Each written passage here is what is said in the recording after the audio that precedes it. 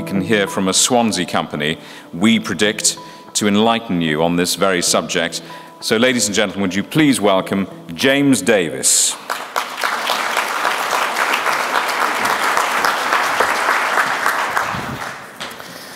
Um, Jamie, don't go away. Um, how's your maths?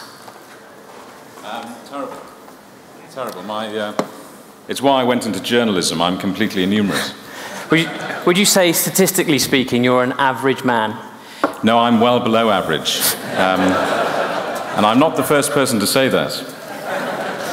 Well, should, should we find out how average you I are? I don't like perhaps? being uh, put on the spot like this. I'm beginning to feel sorry for our audience now. I I just want to make sure that you're not like a covert statistics professor and that some of my questions are going to come out with the right answers. Do you know, I'm very confident that won't be the case. Okay.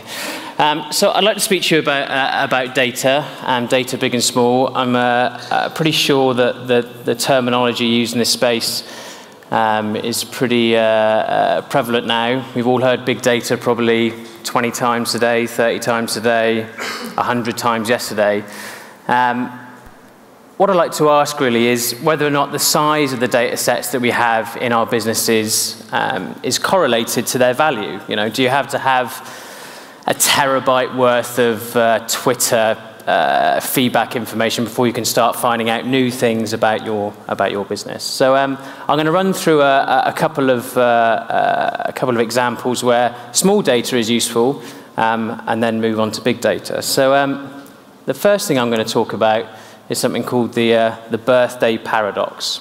Um, so this is where you come in, uh, Jamie. So um, imagine you had a, a room and you wanted to find out whether or not you had a greater than 50% chance that two people in that room um, shared a birthday. Okay, so not a birth date, you know, weren't bo- born on the same day, but were both born on, say, the uh, 18th of February. So how many people do you think you might need to have um, to, to have a greater than 50% chance that two people would share a birthday? Is there like a da, da, da, Um, uh, uh, uh, 100 100,000 people. a hundred? Th- Yeah, I, well, I've, I've never met anybody with the same birthday as me. Okay, so you've Never. So you've just in my short life. unfortunately displayed yourself as, as, as below average. Uh, I was in the- afraid this might be the case. Okay, so, so I was going to talk you through this so that you feel, feel a bit better. So um, if you've got 366 potential birthdays um, during the year, you might logically think that if you had 188 people, um, that you had a greater than 50% chance. Um, uh, the fact is that it's a much smaller number than that. And um, uh, here's, the, uh, here's the math. Um, I'm not going to go through the math, and in fact, I've put this up to make a point. Really, this this doesn't make any sense to anyone at the moment. You know, there's no description of the notation. Um, I think quite a lot of the time, uh, mathematicians and, and statisticians like to give the impression that if you stick up this uh, this formula, that everyone knows what we're doing. And for all the arts and Englishy and you know non-technical people here, this doesn't mean anything to anyone. No, it right does. now. I feel an overwhelming sense of nausea. So, It's my um, maths lessons coming back. So, uh, so I'm going to explain this in a, in a, in a slightly easier to understand way. So um, let's imagine that we've got 22 people hanging out uh, at a party, um, and then and then Jack Black turns up. Okay, so uh, Jack Black's turned up.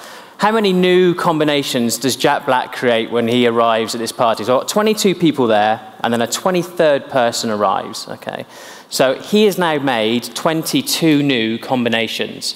So if you count backwards from the 22 all the way back down to the beginning, we find out that for 23 people that there are 253 potential combinations of birthdays. And so the, the correct answer to your question, which I believe you answered 100,000, Well, I thought you meant the year, the month, and the day. I only wish that I'd explicitly said that at the beginning of the question. He says backtracking desperately. Um, The actual answer is 23. So uh, in, in this example, it's, uh, it's, uh, it's probably slightly uh, counterintuitive, and, and probability is counterintuitive. You only need 23 um, data points here to, to find out something quite interesting. Now, if we look back to our, our lives, you know, where do we commonly hang out with 23 people? Um, the chances are that you know someone in your class shared a birthday with someone else in your class at school. So what's that? 25, maybe maybe 30 people. So you do see it around, but perhaps you're not necessarily aware that that, that probability exists. Um, Jamie, thank you very much for... It's a huge relief to be going. For, for being there for me. okay, so uh, I, I'm I like listening to people talk about big data. Um, it's been fascin fascinating for us to see how the companies that we work with have all of a sudden uh, wake, woken up to how valuable this information is that they have on their customers, on their products. Um, I think pretty much everyone has now gone through the epiphany that maybe, you know, Mike, who's good on Excel, probably shouldn't be a data, uh, a data source for important decisions that we're making, and there should be a bit more of a, uh, a focus on the information that we have on our, on our products and our customers. Um, however, I think it can sometimes be a little bit, uh, uh you know, uh, unclear as to, as, as to why the information is valuable and how big your data set needs to be um, to be interesting. Um, so what I'm going to do right here, right now, um, is a bit of a probability stunt. Um, we've, uh, uh, we've done some modeling, and we think that there is a very decent chance, um, greater than 75% chance, that on one of these tables, completely randomly, are two people sat next to each other who share the same birthday. Okay? So um, again, We'll just not make Jamie's mistake. We're not all looking for the 18th of February 1975, my birthday. Um, we're looking for the actual birthday, which is the 18th of February. Um, so as I say, we did some modelling. We've got a greater than 75% chance to find that out. Um, there's a 20 odd percent chance that this won't work. And uh, uh, our, our, CTO, who's, got, who's a professor in statistics, was seriously unhappy that there was a 20% chance of failure. Um, but uh, the way I look at it is that there's a, uh, almost 80% chance of success. Um, so what I'd like you to do is if we can just uh, raise the lights a, a little bit um, so that everyone can uh, look at each other. Um, can you just quickly talk on the tables that you're at, share each other's birthday, um, and then let me know whether or not I was right and Tim was wrong about doing this particular test.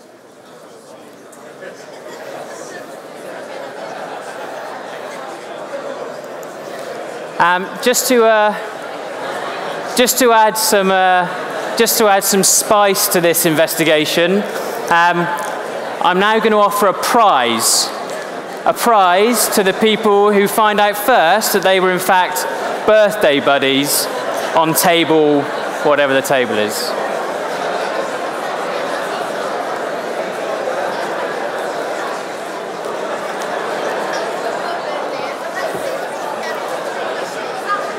Uh, no reconfiguring of tables. There are cheaters here. Cheaters. and no one from my team is going to pretend?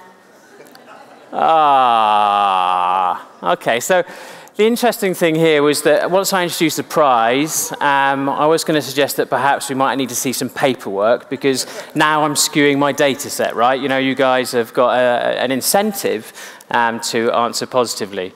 Have I really not done it? I can't believe it. Okay, so um, failure is not so bad. I get to keep the champagne. I'm not going to drink it with any of you guys. Um, but one of the interesting things here is that you know, once you start collecting this sort of information, and once the people who are having that information collected from them, um, it kind of skews the data that you get back. So, you know, maybe next time I give this presentation, um, we have more sets of twins um, coming to uh, Digital 2015.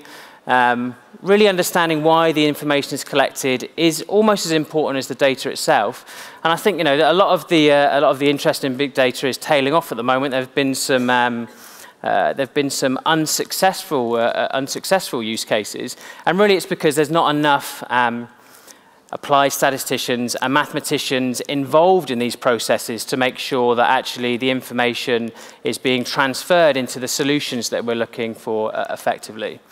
So the McKinsey um, Global Institute produced what was called the Big Data Report. I highly recommend that you um, read it. It's a couple of years old now, um, but the information is, is massively relevant. It looks at uh, how um, data analytics is going to affect um, practices in the public sector, the private sector, um, uh, the government uh, representatives here might be interested to see how that might be used to close the tax gap um, and some, some other use cases as well.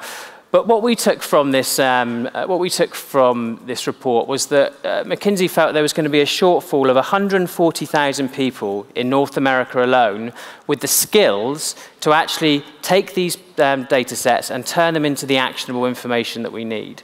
So um, that's quite a lot of people. Um, by 2018, we're unlikely to, uh, to, to, replace that gap. So one of the things we're doing is, is trying to find questions that um, uh, are pervasive, that, that, that, persist across a vertical market, so that we can start solving some of these problems as as a, as a service and, and provide that solution to, to multiple companies or to multiple stakeholders. Um, just to give you an idea of the sort of people that you need to solve these problems, um, uh, some of them, uh, some of my team are here today. Yeah, hands up, guys. They're over there. They're available for uh, interesting stats talk um, at the next break.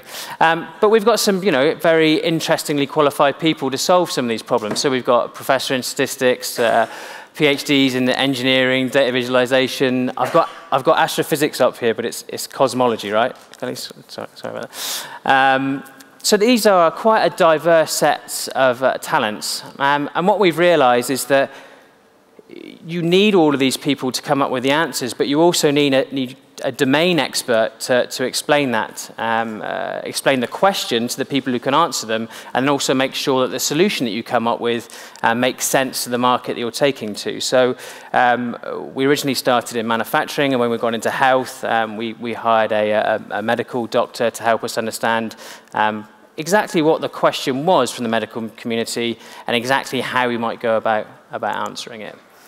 Um, so having talked big data down a little bit, um, I'm going to lift it back up again. Um, I was at, a, uh, at the SAP um, uh, global conference last week, and the CEO of uh, SAP stood up in front of everyone and said that he felt um, that the, the first sector, section of the um, uh, internet revolution was probably worth somewhere in the region of $16 trillion globally. So an absolutely you know, enormous amount of money. Um, but he then went on to say that he felt that uh, with the Internet of Things, with um, more pervasive analytics, better information on all of us and everything that we use, that there was $60 trillion in value to be unlocked over the next 10 years globally. Now, that is an almost unfeasible amount of money. And if you think about it in the work that you're doing uh, in, in, in, your own worlds, um, really the amount of information that we've got about our products, we've got about our customers, um, we've got about ourselves is, is exploding. Um, and once we get our hands around it, uh, computing power is no longer a problem. You know, we've all got more than enough computing power. Um, uh, there are no more infrastructure issues that are preventing us from leveraging the information that we have. Um, and it really will be transformational over the next few years. Um, so as I said, I wanted to talk through some, some examples and, and, and maybe get you thinking about what you can do with this stuff. So as I said, where we started was, was in manufacturing. Um, we worked for Honda and Mazda and Ford and, and some uh, component suppliers as well. And, and what we do for them is we, we tell them how often we think their components are going to fail. Um, now, you might think that's something they know a pretty good uh, deal about already. Um, anyone who's been following the GM story in North America over the last 12 months will see that actually organizationally, um, car companies find it very difficult to track exactly what's going on with their products. So we've come up with a, a, a solution, um, an algorithm, a method to, to come up with a really accurate forecast on the back of very small amounts of data to let us know, right, well, this, this alternator has failed 10 times in this, um, in this region. Um, we think, therefore, we're going to need 10,000 alternators over the next, um, next few years.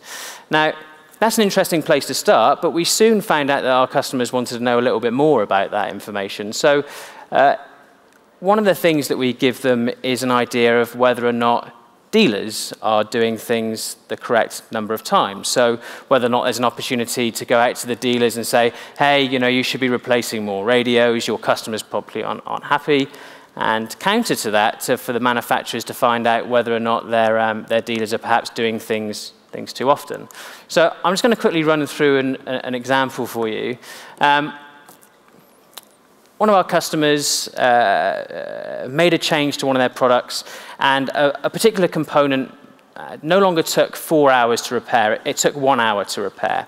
Um, so this guy, number one up here, um, uh, this particular dealer, quite a substantial dealer, showed up on our analysis as all of a sudden doing this particular type of repair at 250% of the, of the regional benchmark. So he's doing it two and a half more times than he should do.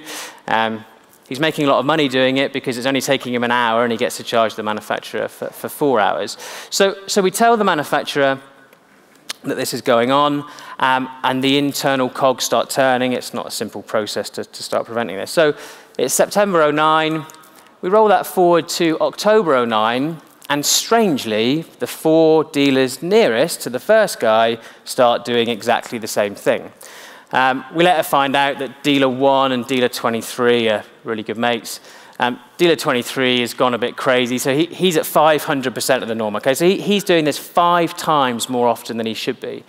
Now, the manufacturer is taking their time to do anything about this, and October runs into November, runs into December, and all of a sudden, the bad activity has completely infected the whole of this community, okay? So the information has spread far quicker than the manufacturer could control it. Now, fortunately, because we've started telling them they had this problem fairly early on in the cycle, they were able to put a fix in place. And it was a very simple fix in this instance. Um, they just started telling the, the, the, dealers, look, if you're going to repair this component, we really would like to have a picture. Um, they went live with that as a process in December 09. And strangely, January 2010, everybody goes back to normal. Now, I like showing that because it's amazing to see how the information spreads across a community. It's great to see how a simple intervention can prevent some, some bad behavior.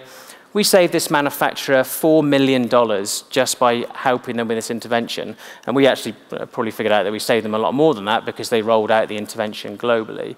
But the other reason I like to show it is that we didn't start our engagement with this particular, uh, with this particular problem with controlling the dealer network in mind. We had no idea that this was going to be the outcome. Um, and to give you an idea of what the value of this is, car manufacturers spend somewhere in the region of $50 billion a year on upholding product guarantee. So our ability to come in and reduce that by 10, 15% is a genuine opportunity to remove $5 billion worth of excess cost um, from the automotive manufacturing sector. Um, and they'll be glad of that because they find it quite hard to, to make money in that particular um, environment. So that's a manufacturing example. And we've recently started working in healthcare. I just want to give a plug um, to the Welsh Government here, who are doing a, a, fantastic job trying to figure out how to engage with us SMEs around solving problems that they have. So there's something called the, um, the SBRI program. Um, I'm going to give him a bit of a headache and tell you who the guys who run it. It's a, a guy called Gareth Browning who works in uh, the ICT team and with David Warrender.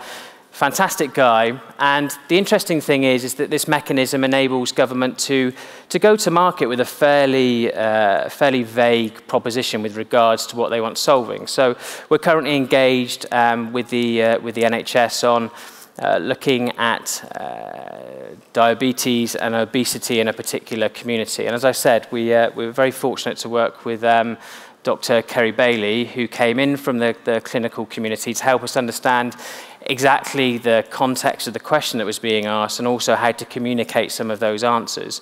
But you know, just imagine what more we can do if our GPs know a lot more information about us. Now, I'm, I'm not crazy. I don't think that doctors should know everything about us. I don't think Google should have every single possible piece of information. And I've got some recommended reading at the end, and I should highly recommend you reading a, a piece of uh, fiction called uh, uh, The Circle by David Eggers, which is a bit of a dystopian nightmare about what happens when we hand over all of our information. But really and truly, if we had a better idea about what was going on for every single data point, when you aggregate that information together, there is going to be some fascinating information about how we operate as individuals, where they'll be able to make uh, fairly uh, easy changes to our lives to have uh, increasing effects. And we look at how much money we're spending on healthcare, if we don't start taking advantage of these data sets, um, it won't be a question of, the, uh, uh, of protecting the data of the individual. Really, the morality is, is what we owe to society to start working on these data sets to understand where the excess cost is so that we can still afford our healthcare systems.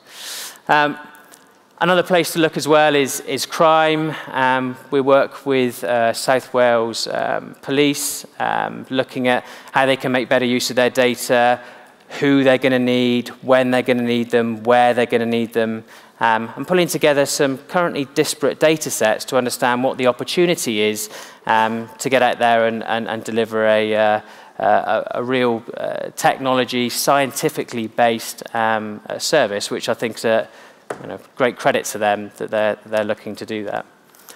Um, as I said, I've got a, a, bit of a suggested reading list here.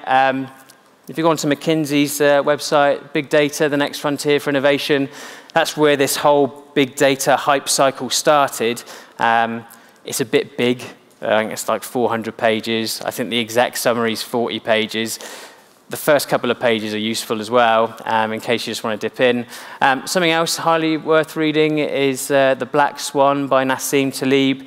Um, give you some context, really, in maybe in some of the problems that you're looking uh, at solving yourselves as to what's actually possible. You know, there's only so much we can do with the information that, that's, that's available to us right now.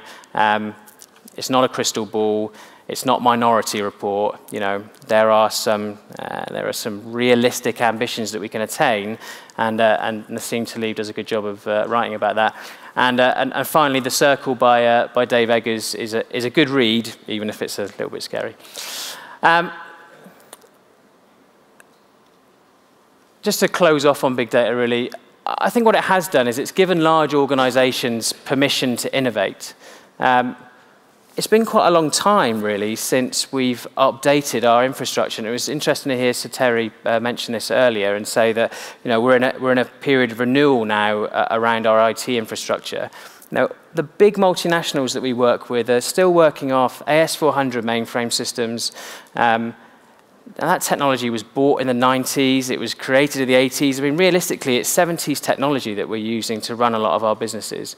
And all of a sudden, this analytics idea, this pervasiveness of information about our products and our customers is giving us enough of a, a reason to invest in, in the future of our, of our businesses um, and the future of our communities. Um, and just to give you an idea about how, uh, how important um, uh, this type of analytics on these data sets is going to become, um, we were, we were shortlisted last year um, for the SMMT, so the Society of Motor Manufacturers and Traders um, Award for Innovation. Um, and we were up against the McLaren P1. Okay, so we lost, um, but uh, that's just to give you an idea about where this is going. Okay, a bunch of statos with great viz experience created an analytical product that was considered as innovative as a million pound supercar that's changing production processes, processes around the world. Um, and it's only going to become more important what we do with this information.